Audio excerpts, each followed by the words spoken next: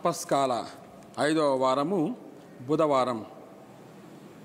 నేటి ధ్యానాంశం నీవు బానిసవు కాదు దేవుని బిడ్డవు. క్రీస్తు ప్రభునందు ప్రేమైన సహోదరులారా నేటి సువార్త మనం గ్రహిస్తూ ఉన్నాము. ముఖ్యంగా యోహాను సువార్త ఎనిమిదవ అధ్యాయము వచనములు ముప్పది ఒకటి నుండి నలభై రెండు వరకు ధ్యానించుకుంటూ ఉన్నాము. ఈ సువార్తలో ప్రభువు ఎవరు స్వతంత్రులు ఎవరు దాసులు ఎవరు బిడ్డలు ఎవరు బానిసలు అన్నటువంటి అంశం గురించి ధ్యానిస్తూ ఉన్నాడు. అనగా దేవునికి సాతానికి మధ్య ఉన్నటువంటి వ్యత్యాసాన్ని ఆయన చాలా స్పష్టంగా తెలియజేస్తూ ఉన్నాడు. దేవుని బిడ్డలు ఎప్పుడు కూడా స్వేచ్ఛగా ఉంటారు స్వతంత్రంగా ఉంటారు ఆత్మతో నిండి ఉంటారు సాతాను బిడ్డలు పాపానికి దాసులై బానిసలై జీవిస్తారు అన్నటువంటి అంశాన్ని తెలియజేస్తున్నాడు. మరి ఇటువంటి తరుణంలో మనము గ్రహించే మూడు సత్యాలు ప్రియులారా. మొదటిది పాపము బానిసత్వం సత్యము స్వతంత్రం. మరి రెండవదిగా విమోచన వాక్యాన్ని వినడములో ఉంది. మరి మూడవదిగా క్రీస్తు మాత్రమే మనలను దేవుని బిడ్డలుగా చేయగలడు. ఈ మూడు సత్యాలను కూడా క్షుణ్ణంగా పరిశీలించుకుందాం.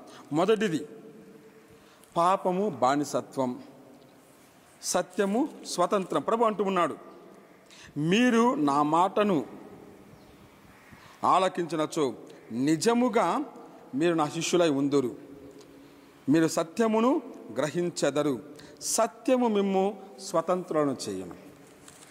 పాపము ఎప్పుడు కూడా బానిసత్వం వైపు మనల్ని ప్రేరేపిస్తూ ఉంటుంది. మా పాపం చేశామంటే సాతానుకు దాసోహం దాసోహమైపోతాము. మనకంటూ జీవితం ఉండదు. ఇక సాతాను మనల్ని ఆవహించి మన ద్వారా తన పనిని జరిగించుకుంటూ ఉంటాడు. తన యొక్క దుష్ట క్రియలకు మనల్ని వాడుకుంటూ ఉంటాడు. సాతాను ప్రభావము అలా ఉంటుంది. పాపంలో ఉన్న ప్రతి వాడు కూడా సాతానుకు బానిసగా ఉంటూ ఉంటాడు. దాని నుండి బయటపడాలంటే ఒకే ఒక మార్గము. మనము దేవుని బిడ్డలుగా మారాలంటే ఒకే ఒక మార్గము. మనం నిజమైన స్వతంత్రాన్ని పొందాలంటే ఒకే ఒక మార్గము. మనము యేసు వద్దకు రావాలి. యేసు మాటను ఆలకించాలి. ఎందుకంటే ఆ వాక్యాన్ని వినడములో మనకు స్వతంత్రం లభిస్తుంది అని ప్రభు అంటున్నాడు. నా మాటపై నిలిచి ఉండండి. ఎంతవరకు మనం ప్రభుని స్వీకరిస్తూ ఉన్నాము? ఆయన మాటను ఆలకిస్తూ ఉన్నాము. నేను దేవుని విశ్వసించుచున్నాను అని అనేక మార్లు మనము పలుకుతూ ఉంటామే. నిజంగా మనం ఇచ్చిన మాటపై చేసిన భాషపై మనం నిలబడుతూ ఉన్నామా? ప్రభువుని సంపూర్ణంగా విశ్వసిస్తూ ఉన్నామా? అలా విశ్వసించినట్లయితే మనము ఎప్పటికీ ఈ లోకములో దాసులం కా కాలేము. ఈ లోకానికి బానిసలం కాలేము. సాతానుకు లొంగి మనము జీవించలేము. మనము సాతానును దాటి ఈ లోకమును దాటి పాపమును దాటి మన బానిసత్వం దాటి మనము స్వేచ్ఛా జీవితంలోనికి ప్రవేశించగలము. దేవుని మాటను ఆలకించినప్పుడు మాత్రమే ప్రియులారా ఇది సాధ్యమవుతుంది. కాబట్టి ఈ తపస్కాలంలో దేవుని వాక్యాన్ని ఆలకించాలి. బలమైనటువంటి వాక్యము ఆత్మను శుద్ధి చేసే వాక్యము జీవమును అనుగ్రహించే వాక్యము. నీ వాక్యము సత్యమును జీవమునై ఉన్నది అని మనం గ్రహిస్తూ ఉన్నాము. అవును ప్రియులారా మనకు ఆ జీవము కావాలంటే మనకు ఆ స్వతంత్రము కావాలంటే మనం దేవుని బిడ్డలుగా మారాలంటే ప్రియులారా మనము ప్రభువుని ఆశ్రయించాలి. ప్రభువును ఆలకించాలి. ప్రభువును అనుసరించాలి. అప్పుడు మాత్రం మనము ప్రభువులో దేవుని బిడ్డలము కాగలము.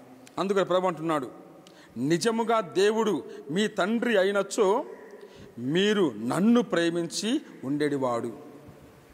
ఏలయనా నేను ఆయన యొద్ద నుండి బయలుదేరి వచ్చి ఉన్నాను.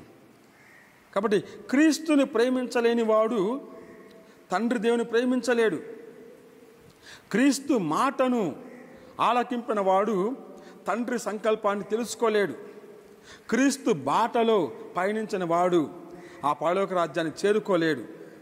క్రీస్తును అంగీకరించని వాడు తండ్రి ప్రేమను పొందలేడు.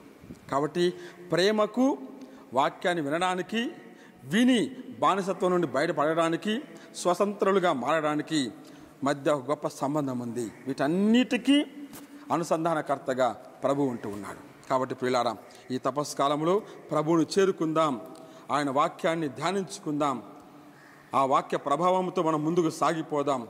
ప్రభువును సంపూర్ణంగా అనుసరిద్దాం. మనము బానిసలంగా కాకుండా దేవుని బిడ్డలుగా ఉండడానికి ప్రయత్నం చేద్దాం. ఈ సత్యాన్ని గుర్తుపెట్టుకుందాం. నీవు బానిసవు కాదు దేవుని బిడ్డవు. దేవుడు మనందరినీ దీవించునుగాక. ఆమె